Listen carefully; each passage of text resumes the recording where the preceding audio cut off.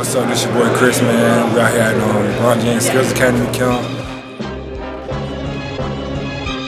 Me in Vegas, going hard, representing Montverde Academy.